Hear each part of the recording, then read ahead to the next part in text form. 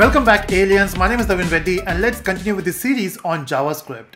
So in the earlier videos we have talked about what is JavaScript and we have also done the setup, right? So in your machine you'll be having VS Code and Node.js. So we need VS Code where you, where you will write a code where you also want to see the output and it will be helpful for debug as well. We will be using Node.js to run the code, right? We need some environment. So Node.js has a JavaScript engine using which you can run the code. So we'll talk more about that JavaScript engine later. As of now, we just want to get started with the code, right? See, uh, we have also done the hello world, but not on VS Code, I guess. So what we will do in this video is we'll start with the first and most important concept in any programming language actually, which is variables. See, first of all, why do we need variables? If you think about this world, if you think about the information world or internet world, everything is about information, right? In fact, we also say this is an information age. So the most important thing in IT or the computers is information. So whatever we do, we do it for the information. You want to get the input, you want to show the output, you want to process data. It's all about data, right? Now the question arises where you will store data. Of course, use with the help of programming, you can process data. But even for processing, first you have to store your data somewhere and after processing, you will store your data somewhere. So we need to store our data somewhere and that somewhere is variables. Uh, yeah, the only th tricky point is when you want to store your data for a temporary purpose, we will be using variables. If you want to store your data for a permanent use, we have different options for it. Currently, we are focusing how do you store your data in a code. So we can do that with the help of variables. So example, let's say I have a data here. So let's say I want to perform some operations before doing that. So we'll add two numbers here first. So I also want to print them. So what I will do is I will say console.log, the same thing we've done for uh, hello world. Here what we'll do is we'll say 2 plus 2. Now, of course, if you run this code, you will get the output, right? So let's save this file as well. So we are doing in the same file which we started, which is first.js, which is available on desktop. Okay, so let me just run this. Of course, you have two options of running this. We can write our node command or we have installed this extension called code runner. Let's use that. So when you click on run, you can see we got the output as 4. Okay, this looks cool, right? But then I want to store this data somewhere so that I can use it. Example, where I want to use it. Again, I will do a calculation here. And here I want to add two numbers. One is a new value. Of course, let's say I want to add 3, but I want to add this 3 with the previous operation. Maybe you have a choice. Let's say the previous operation is 2 plus 2, and then you will say 3. But don't you think you are doing the same thing again? Example, when you run this code, of course you will get 4, you will get 7, 4 because of the first operation, 7 because of the second operation. But don't you think we are doing it again?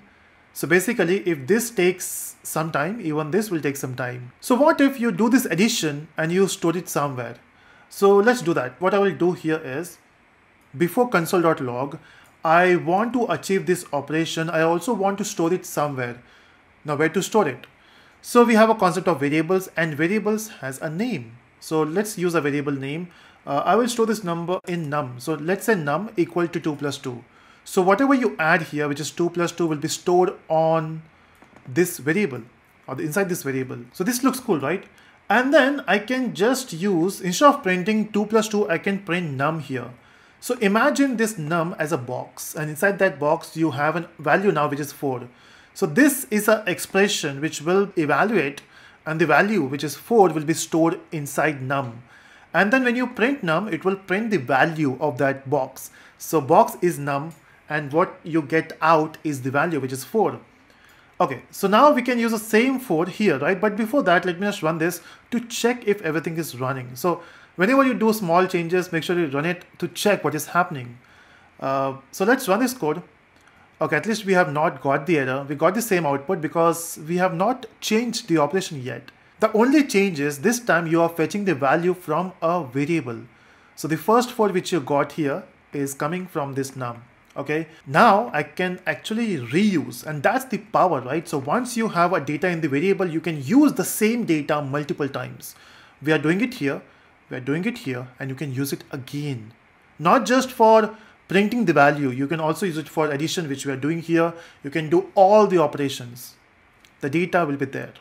okay how long the data will be there is it the right way of creating a variable I will talk about that as well. But as of now, it's running, right? See, the most important thing is when you learn thing for the first time. So first let's understand what it is and then we'll see how we can use it and then we'll understand what is happening behind the scene. This is not a time to understand what is happening behind the scene, right? So let's go with the flow. We have a variable, imagine a box, you have a value, you're printing it here and you're adding it here. But is it the right way of creating a variable? See, if you want to create a variable, uh, in JavaScript, you have an option of just by saying a variable name, you can use it. By chance, if you're coming from other language, let's say C, C++, Java, or any language which needs you to declare variables, that's right. In some languages, we have to declare them first. Here, we're not doing that. We are simply saying num. But this is not a right way of defining a variable. It is allowed here, but then with every new version, you get new features, right? So this was an old feature. So if you want to get a variable, say let. So it's a let num equal to whatever value you want to assign.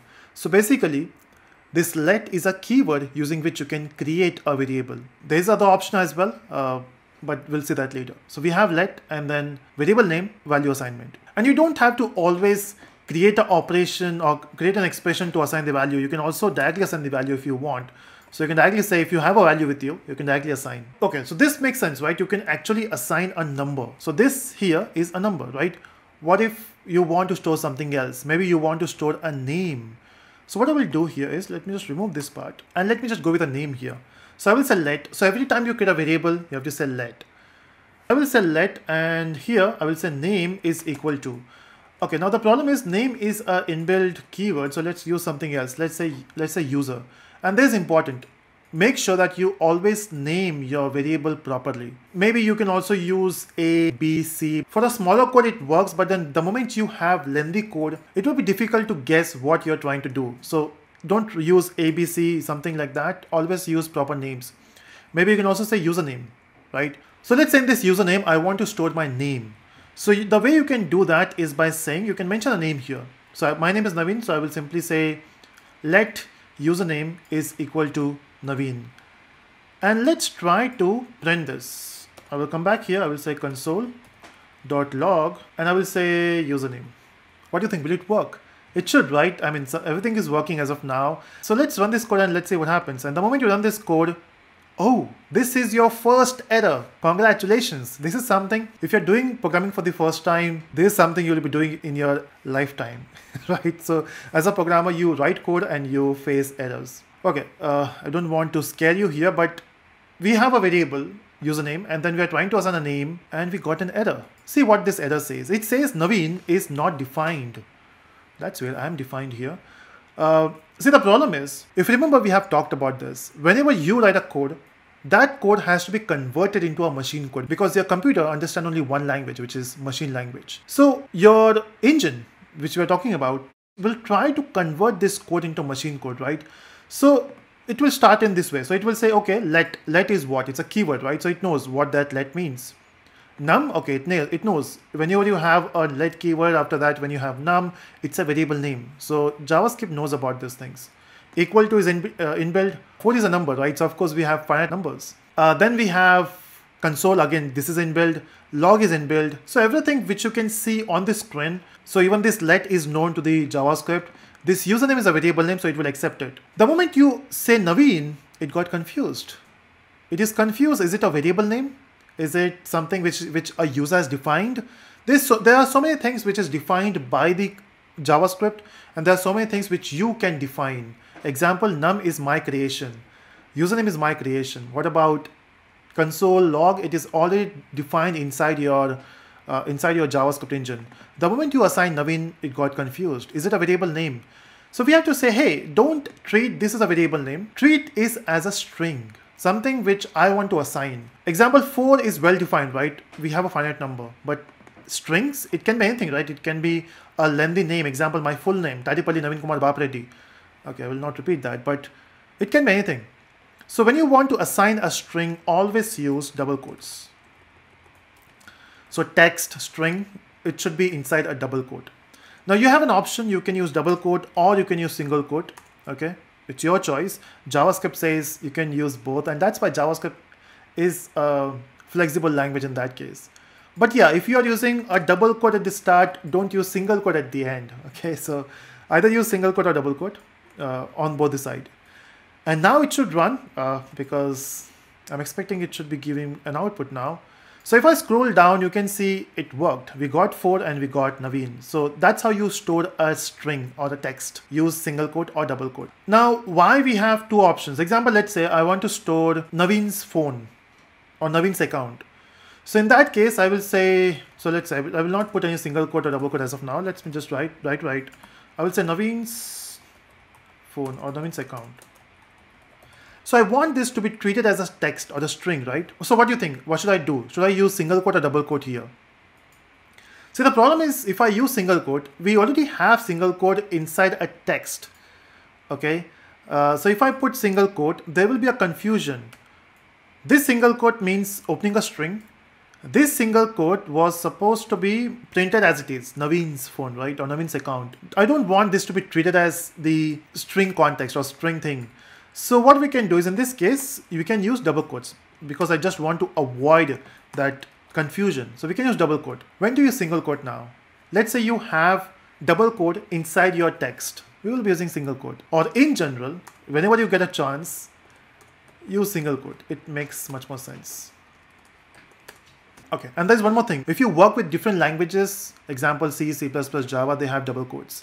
So if you have, if you know multiple languages, you might have a tendency to write double quotes and that's that is completely fine. Okay, so now we know how to work with two different types. We, we have used numbers, we have used a string.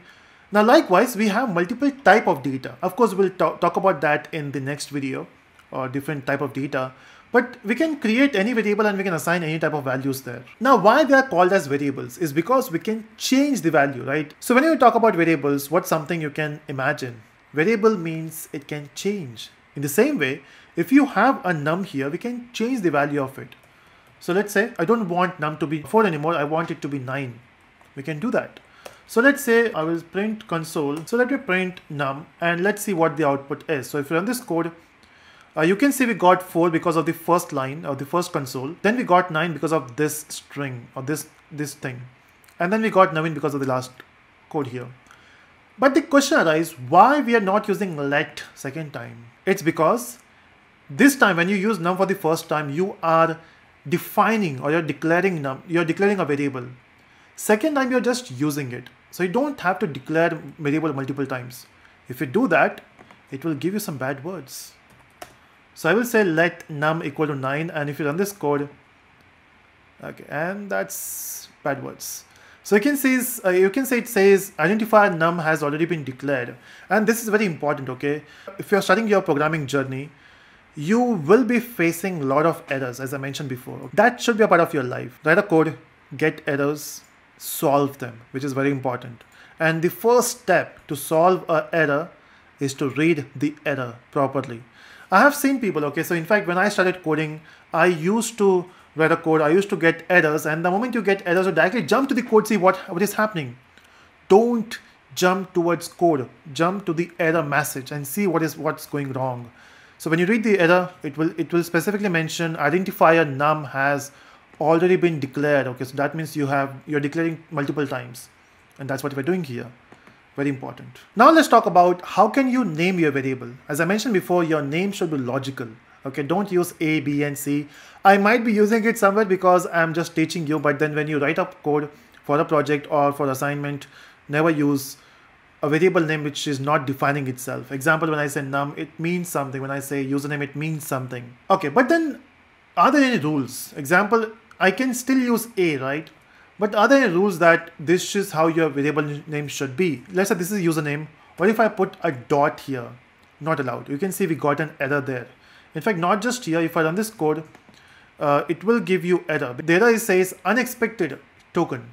So dot is not allowed here. It has a special meaning, which we'll talk about that later. So dot is not allowed.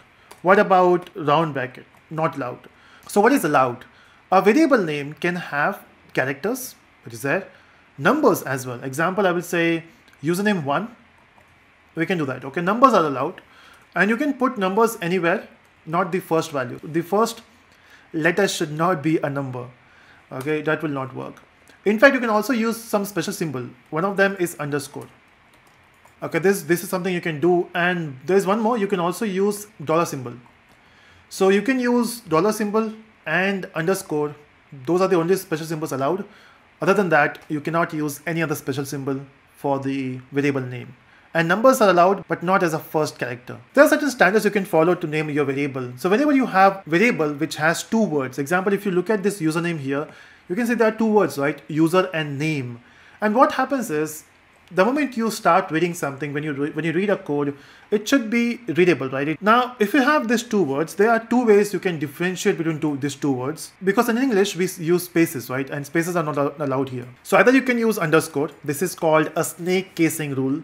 Uh, so you can use cases with the help of underscore. Otherwise, you can use camel casing rule. So you can say user name where the second word first letter is capital okay? So it, it makes your code more readable and that's very important okay? So in this series we'll not just talk about how to do something we'll also see how do you write clean code what are the best practices and those are those things are important. So that's how you create a variable. So just to reiterate what is camel casing is whenever you declare variable name and when you have multiple words in one name doesn't matter is it for variable or something which we'll see later you will be converting all the new words first letter with capital case. Uh, so that's it from this video. I hope you enjoyed. In the next video, we'll see the type of data. So if you enjoyed, let me in the comment section and hit that like button and do subscribe for further videos. Bye-bye.